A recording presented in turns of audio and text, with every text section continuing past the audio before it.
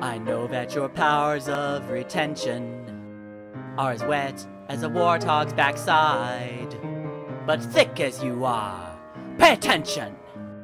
My words are a matter of pride. It's clear from your vacant expressions. The lights are not all on up the stairs. But we're talking kings and successions. Even you can't be caught unawares. So prepare for the chance of a lifetime. Be prepared for sensational news. A shiny new era is tiptoeing nearer. You'll see when you feature, just listen to teacher. I know it sounds sordid, but you'll be rewarded when at last I am given my dues. And injustice deliciously squared. Be prepared. In case you're wondering what you're being prepared for, it's the death of the king. Not because he's sick, but because we're gonna kill him, and Simba too.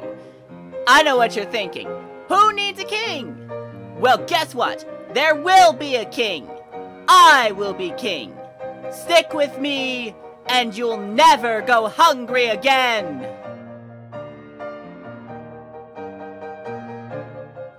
I knew you'd love me. It's great that you'll soon be connected with a king who'll be all time adored. Of course, quid pro quo, you're expected to take certain duties on board.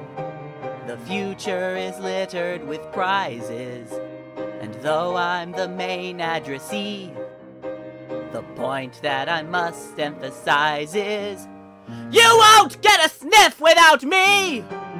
So prepare for the coup of a century. Be prepared for the murkiest scam. Meticulous planning, tenacity spanning, decades of denial is simply why I'll be king undisputed, respected, saluted, and seen for the wonder I am.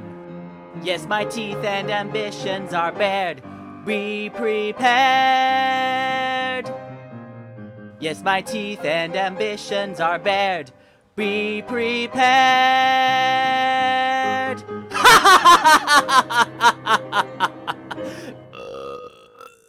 Pardon me, that warthog meat gave me gas.